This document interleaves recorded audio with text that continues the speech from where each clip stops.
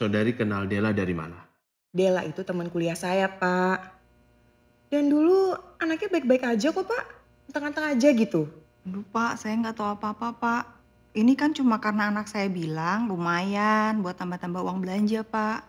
Dela itu kelihatannya anaknya baik. Jadi kamu nggak tahu kalau Dela itu sebenarnya penipu? Ya mana saya tahu, Pak. Orang IG-nya meyakinkan banget.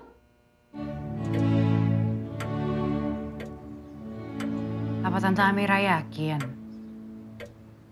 Maksudnya sebulan tuh waktu yang lumayan lama loh Tante. Ya gimana lagi ya? Janda kayak tante. Gak ada yang bisa dimintain bantuan. Tante emang mau pergi ke mana ya tadi? Edinburgh. Anak tante kan wisuda. Tante sana sekalian jalan-jalan ke Eropa. Nah, gimana? Kamu bisa kan jagain rumah tante sebulan? Sebenarnya ada pembantu sih di sini, tapi tante nggak percaya sama pembantu tante. Hmm, ya kamu bisa kan jagain rumah tante?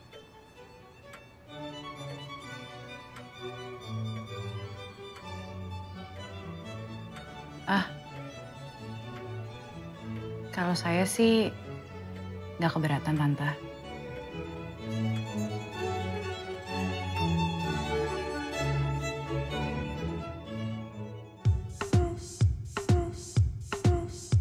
Hai, capek banget. Tadi abis selesai meeting kayak hampir tiga jam gitu. Terus aku tadi kan makan di Bottega kan.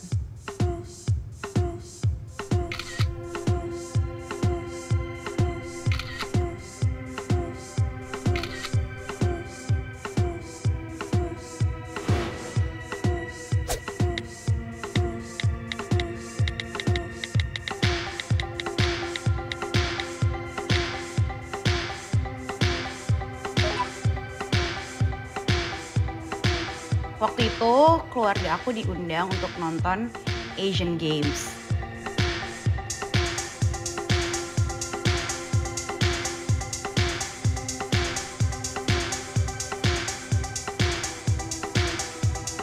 Selamat hari Senin semuanya. Ayo jangan kebanyakan kerja. Every other day lu DM DMin gue lah ya. Gitu bilang kalau misalnya, ala lu ngaku aja deh kalau misalnya lu beli followers, gue udah tau banget lo kayak gimana. First of all, gue nggak ngarep untuk jadi seterkenal sekarang.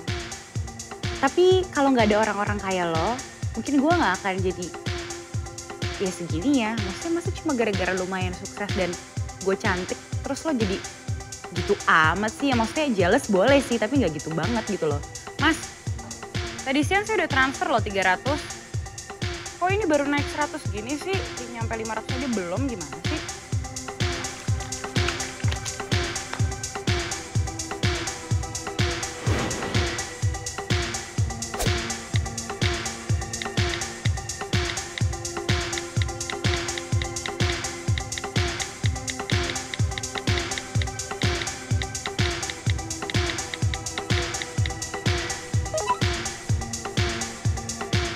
Jangan bohong-bohongin saya loh. Saya ngerti loh nih mas. Ini tuh sebenarnya aku dapat di silent auction gitu waktu tahun 2011 deh kalau nggak salah. Nah ini lukisannya itu dari bekas punyanya Pak Habibie gitu. Nah aku tuh emang kayak family friend gitu lah sama keluarganya dia. Jadi kayak sama ini mas saya nggak mau loh kalau misalnya nanti pas udah dapet followersnya terus habis itu turun lama-lama. Kan kalau kayak gitu nggak kelihatan organik mas. Ini statis kan?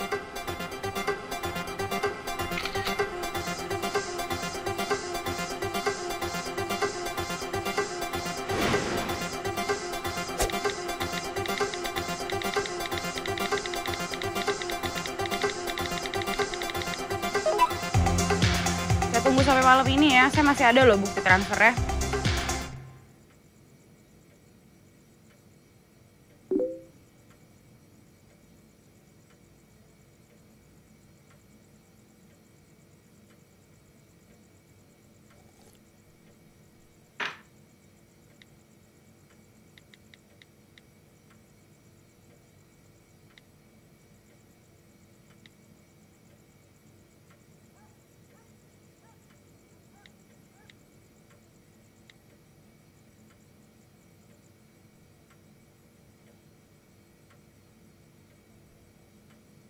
Halo, dengan Rina. Rina ini Dela. Mm Dela kampus. Iya, waktu itu kan kita pernah satu matkul tuh sosio sama Pak Tito. Ingat kan? Enggak, nggak ada apa-apa sih sebenarnya. Cuma tadi tuh gue lagi main-main Facebook aja, terus tiba-tiba gue ngeliat status lo, terus gue jadi kesian sendiri. Enggak gini Rin, jadi eh, rumah gue tuh kan akhir-akhir ini lagi sering kosong. Jadi kalau misalnya lo dan teman-teman lo emang lagi butuh tempat arisan, ke rumah gue aja gue welcome sih.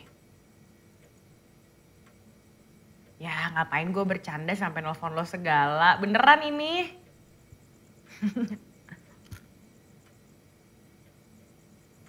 Mm-mm. Heeh. Hmm, hmm, hmm. Ya udah gini aja. Jadi kalau misalnya lo udah deket waktu arisan, lo tinggal halo gue. Terus habis itu biar gue prepare deh rumahnya. Ih serius namanya juga bantuin temen, santai aja lah Rin. ya udah, ya udah kalau gitu see you this week ya. Gue tunggu loh. Oke. Yo, bye.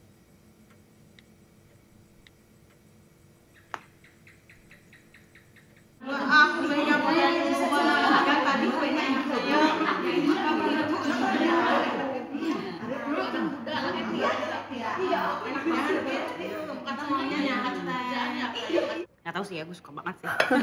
Enak kok enak. Eh, by the way, Hmm. sorry ya. Temen-temen arisan gue agak sendiri lah. Oh, santai aja lagi. Gue malah suka gitu yang rame-rame. Abis ya sepi gini. Iya sih Hmm. rumah segede gini lo tinggal sendiri. Tapi gue gak nyangka loh, Hmm? lo jadi sukses kayak gini Del. Oh, apaan ini mah biasa aja lah. Biasa gimana? Rumah segede gini, daerah selatan pula. Lagian ini gue juga bisa kayak gini karena komisi kerjaan sih. Dan ya beberapa investasi bisnis lainnya lah. Oh ya? Uh-uh. Investasi apa? Jadi ibu-ibu terima kasih udah hadir ke rumah saya. Banyak loh ibu-ibu. saya nih kebetulan sama Rina ketemu pas zaman kuliah gitu. Terus saya ngeliat status Facebooknya, kok saya jadi terharu gitu karena terus terang aja saya nggak punya banyak teman. Maklum lah ya bu, wanita karir jadi agak susah bagi waktunya. Jadi dulu itu ibu-ibu, Rina ini pinter. Yalah. Cum laude. Hebat. Saking pinternya bisa sukses, bisa punya rumah sebagus ini. Benar banget. Iya Mbak Dela, suaminya kerja di mana? Rumahnya bagus kayak gini. Aduh. Loh, justru itu bu. Dela ini masih single. Oh, udah tapi udah sukses ya. Nah, ini rumah segede gini nih bu-ibu. Dia sendiri yang beli. Ya. Nah, makanya nih kita kan sekalian lagi ketemu, saya bisa cerita-cerita sedikit. Tadi kan saya ngelihat ibu-ibu arisan dan saya juga udah ngobrol sama Rina sebentar. Nah, saya jadi kepikiran nih, kalau misalnya gue ajakin tawarin aja deh ibu-ibu untuk ikutan investasi kayak saya. Lumayan loh Bu. Mau dong, saya mau, saya mau Mbak Dela. Mau ya? Udah ikutan ya? Daftar nomor satu. Sweet sweet siapa yang nomor satu ya?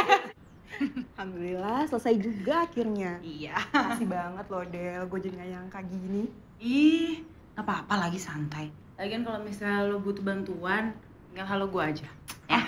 Gue jadi gak enak. Ih, lebay banget sih lo, orang udah temenan lama. Ya, namanya temen ya, tolong menolong aja lah. Iya sih. Rin, tadi kalau boleh gue saranin, nanti kalau misalnya lo datang lagi ke rumah gue nih, kalau bisa lo bawa pasukan lebih banyak. Ya gitu. Ah, soalnya semakin banyak orang yang lo bawa, nanti jadi buat lo juga untungnya. Lumayan komisi kan. Kalau komisi gue mau tuh. Iya. Main beli bedak. Iya, emang dasar lo. Yaudah deh, hati-hati ya. Gue juga balik dulu. Mm-mm. Ah, Ah. thank you ya sis. Ya, Bye. Assalamualaikum. Waalaikumsalam.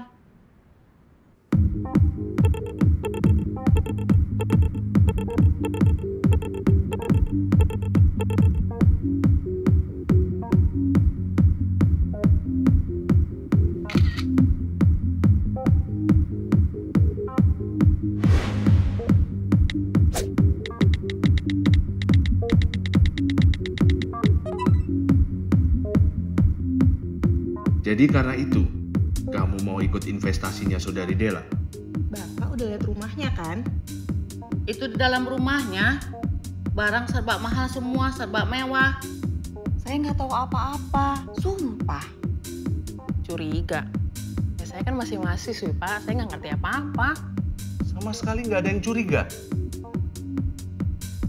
Maksud saya, si Dela kan tidak menjelaskan secara detail bagaimana bisnisnya bisa berjalan, atau mekanisme investasinya itu gimana. Kamu main percaya-percaya begitu saja. Pak, nih Bapak lihat Instagramnya ya. Barangnya tuh branded semua, Pak. Tuh. Gimana saya nggak percaya? Masih lama nggak? Sebentar lagi sinetron orang ketiga tuh mau main. Kalau sampai kelewat, saya tuh nggak tahu gimana nasibnya Afifah, Pak. Gampang kan? Jadi ibu-ibu langsung aja sebarin ke saudara, teman siapa aja bebas ya. Lewat Instagram boleh, Facebook boleh, WA juga nggak apa-apa, telepon aja juga nggak apa-apa. Pokoknya ini investasi mah gampang, simple aja. Apalagi kan aku ngerti ya ibu-ibu gimana orangnya. Ini gampang dan balik modalnya juga cepet. Jadi jangan sampai kelewatan ya bu. Nih, saya bisa beli tas kayak gini itu gara-gara investasi ini di Indonesia yang punya saya dengar-dengar cuma Syahrini ya. Ya kan? Eh, Mbak, Mbak, Ah, ini Mbak, beneran bisa jadi nih, Mbak. Bener dong bu. Ibu lihat aja ini saya, bu, rumah di Selatan sekarang tanahnya udah berapa sih? Kalau saya nggak investasi nggak bakalan bu nyampe ke sini. Oke deh. saya minatin, Mbak. Bener ya. Langsung aja ya. Rekening aja ya. Ah, ah, rekening boleh, cash juga boleh. Udah punya rekening aku belum? belum, belum Gua WA ya. Jangan sampai kita keduluan sama orang lain. Ibu, kalau bisa sekarang ditransfer, langsung transfer ya. Semakin gede nominalnya, balik modalnya semakin cepat. Ya. Pokoknya Mbak, aku pengen kasih ini, Mbak. Aduh, eh, coba Ah, ntar dulu. Kita investasi lagi, baru ntar saya, ibu saya pinjemin, ya. Boleh, ya. Cek WA semuanya ya. Langsung.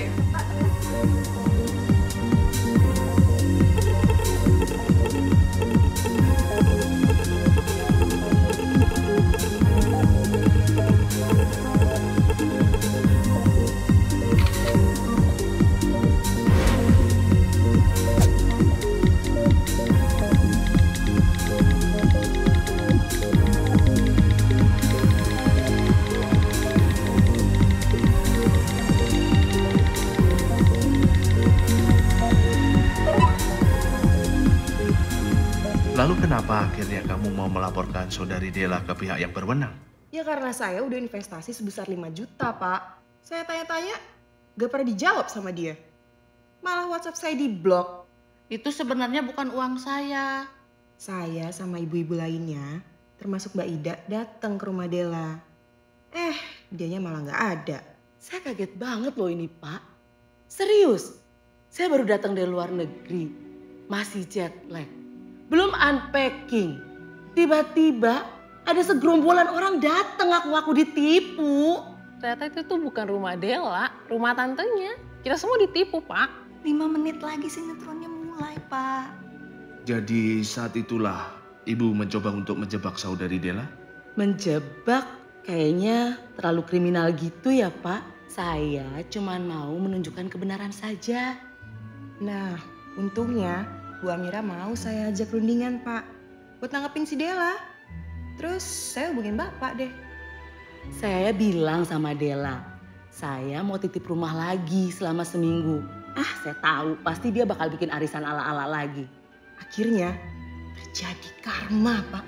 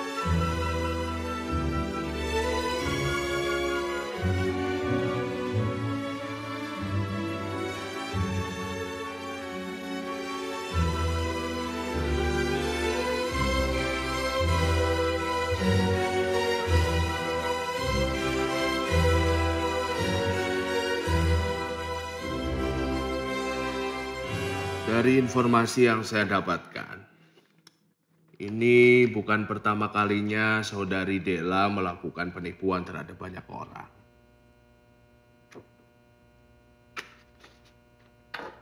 Menurut laporan saya, saudari diberhentikan dari tempat kerja sebelumnya karena kasus yang sama. Pak, kira-kira duitnya bakal balik ya? Soalnya teman-teman saya pada ikut investasi ini gara-gara saya. Saya ini orang susah, Pak. Pakai emas juga emas palsu. Saya kapok deh pak. Gimana saya mau percaya sama orang lain? Kalau sama saudara sendiri aja saya diginiin. Iya, Bu. Saya mengerti. Ngomong-ngomong, Pak Hamdi sudah punya pasangan. Jadi Pak, saya udah boleh pulang kan? Eh, sebentar, Saudari Rina. Ada apa lagi Pak? Saudari juga tersangka dalam kasus ini. Loh, kok bisa? Ya, tanpa keterlibatan saudari, korban tidak akan sebanyak ini. Maksud Bapak apa?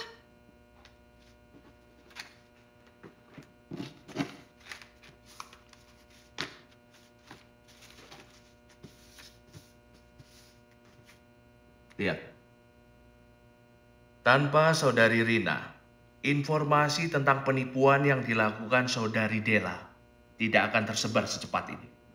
Ya tapi kan saya cuma nyebarin info aja Pak. Sama saja, akan ada sanksinya. Ini berarti saudari Rina sudah menyebarkan hoax. Dan lagi, informasi dari saudari Dela. Kalau saudari Rina sudah menyetujui, akan membawa banyak korban dengan iming-iming komisi. Tapi tapi saya gak pernah makan uang itu Pak. Uang itu yang megang Dela semua. Komisinya pun gak pernah turun Pak. Saya tuh cuman bantu temen nyebarin info aja kok Pak. Bener. Lain kali, jangan percaya sama hal-hal beginian. Cuman gara-gara ngeliat di Instagram foto-foto barang mewah, kehidupan yang glamor, mereka belum tentu benar-benar orang kaya. Saya udah boleh pulang belum, Pak? Makasih Pak, makasih Pak. Makasih.